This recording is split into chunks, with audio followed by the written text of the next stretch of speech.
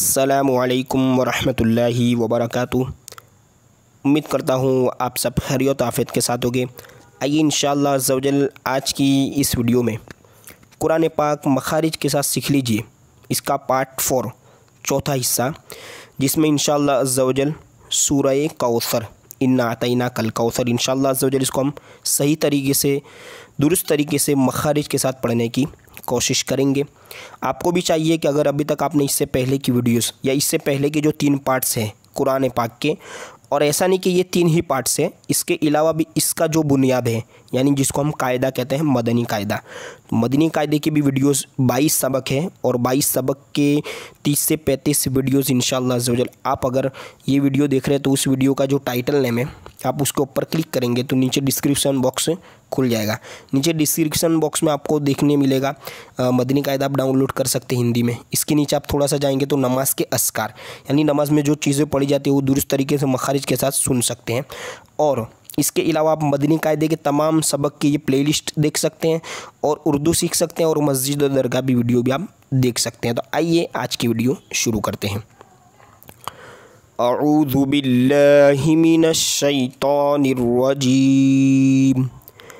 بسم اللہ الرحمن الرحیم۔ اب چونکہ اس کا نام ہے سورہ کوثر، ٹھیک ہے، آئیے پڑھتا ہوں۔ آپ سنیے توجہ کے ساتھ۔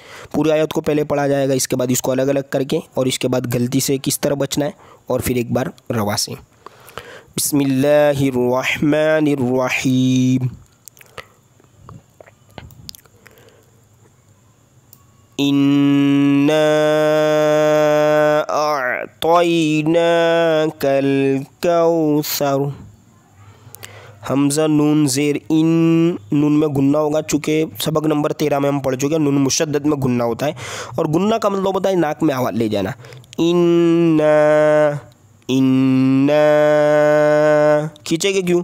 کہ حروف مدہ ہے الف مدہ الف سے پہلے زبر، اس کے بعد حمزہ دوسرے کلمے میں۔ تو مد متصل نہیں، بلکہ مد منفصل کا قاعدہ ہوگا۔ تو یہاں پر ہمیں کیا کرنا ہے؟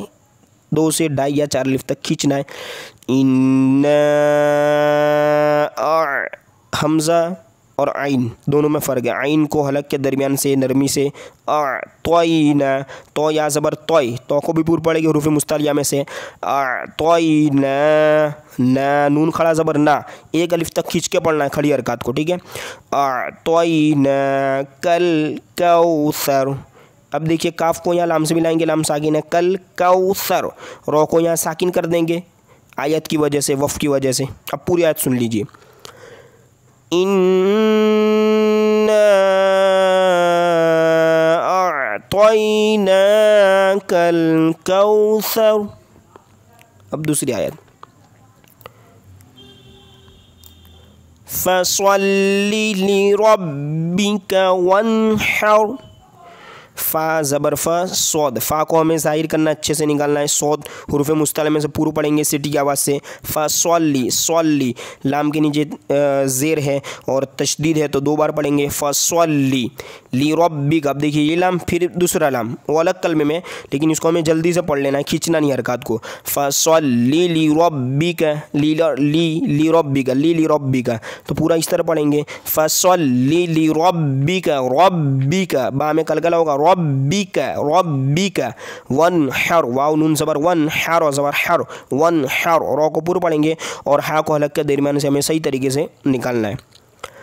فصل لربک وانحر۔ آگے۔ اب دیکھیے، ایک کلمہ یہاں پر لکھا ہوا ہے۔ ٹھیک ہے۔ آپ دیکھ سکتے ہیں ان اور لاسٹ آیت ہے یہ، پوری میں آپ کو پڑھ کر سناتا ہوں۔ ان شانئک هو الابتر ابتر پہلے تو ان حمزہ، نون، زیر ان نون زبر ان بہت سارے یہاں پر کیا کرتے ہیں؟ ان کھینچ دیتا ہے۔ تو یہ کیا ہے؟ نون کے اوپر زبر ہے، انہیں تو معلوم ہے، لیکن اگر کھینچنے کی وجہ سے وہ الف مدہ بن جاتا ہے، تو ہمیں اس کو کھینچنا نہیں ہے۔ ان ہاں نون کے گننا کو ہمیں مقدار پوری کرنی ہے۔ گننا کی جو مقدار ہے، ایک الف، ناک میں آواز لے جانا ہے۔ ان نہ پہ نہیں کھینچ وقت دینا۔ ان شانی اک شا الف مدنا ایک الف تک کھینچ کے پڑھیں گے۔ شانی اک شانئک هو الابتر اب حمزہ با زبر اب تار و زبر تر۔ رو پر پیش ہے، لیکن یہ وف کریں گے۔ آیت ہے تو رو ساکن ہو جائے گا۔ پورے آیت سن لیجیے۔ ان شانئک هو الابتر بسم الله الرحمن الرحيم إنا أعطيناك الكوثر فصل لربك وانحر إن شانئك هو الأبتر إن شاء الله عز وجل أجلي سورة أجلي فيديو ما